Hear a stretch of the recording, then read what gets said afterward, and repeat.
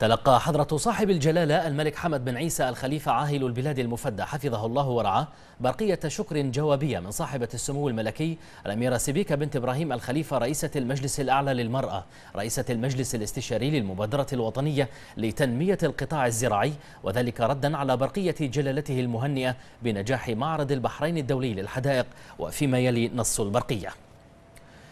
سيدي حضرة صاحب الجلالة الملك حمد بن عيسى الخليفة حفظكم الله ورعاكم ملك مملكة البحرين.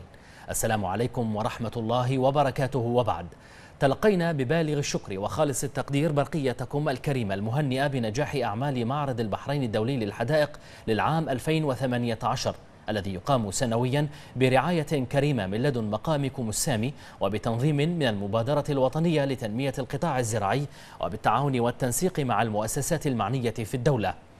ويشرفنا بهذه المناسبة أن نعرب لجلالتكم عن بالغ امتناننا لما تشهده خطط وأهداف المبادرة الوطنية من دعم ملكي نعتز به أشد الاعتزاز ونحرص من خلالها على تلبية تطلعاتكم السامية للارتقاء بالقطاع الزراعي والمحافظة على التقاليد التاريخية العريقة التي رصدتها مسيرة التنمية الزراعية في مملكة البحرين والتي تأسست على يد حكام البحرين الكرام منذ أكثر من سبعين عاما. وكان من بين تلك الجهود البارزة إسهامات جلالتكم الكبيرة لاستدامة هذا التطور والنماء بما يتناسب مع ما تشهده البلاد من نهضة وطنية رفيعة تستمد قوتها من رؤية ملكية سباقة وتعتمد دعائمها على جهود أبنائها وبناتها. ولا يسعنا في ظل ما تحظى به أعمال المبادرة الوطنية لتنمية القطاع الزراعي من اهتمام ومتابعة شخصية من لدن جلالتكم إلا أن نؤكد على التزامنا بتوجيهاتكم السديدة التي تنير لنا درب البذل والعطاء للوصول إلى ما تطمحون له من تنمية ورفعة لهذا المجال الهام.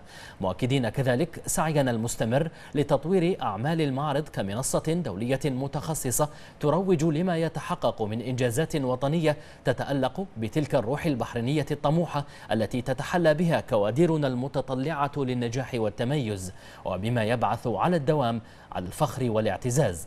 ودمتم في حفظ الله سالمين. والسلام عليكم ورحمة الله وبركاته. قرينتكم سبيكا بنت إبراهيم الخليفة رئيسة المجلس الاستشاري للمبادرة الوطنية لتنمية القطاع الزراعي.